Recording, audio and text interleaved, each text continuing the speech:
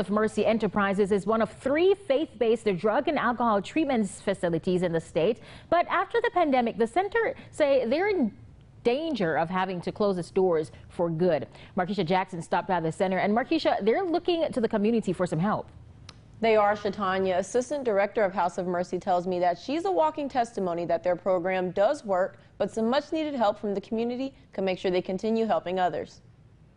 And I get to give back to the very place that saved my life. Kimberly Smith says she understands firsthand the impact the House of Mercy Enterprises can have on the life of someone needing them most. Me and my husband came here with our son, and we never looked back. We're from Austin.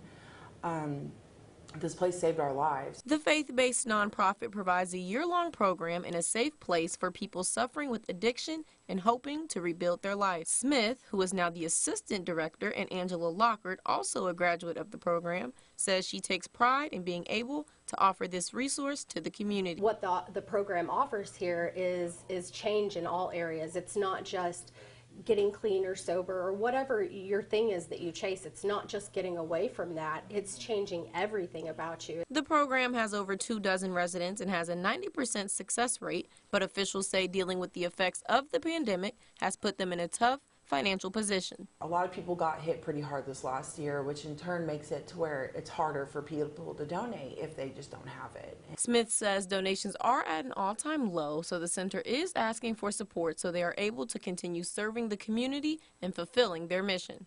Our goal is to make this a lasting program that eventually will have a whole group of graduates that go on to, you know, keep going and keep going and maybe open up their own place one day. Lockhart says having gone through the program, she can attest to its importance. This place has been monumental in bringing our family back together.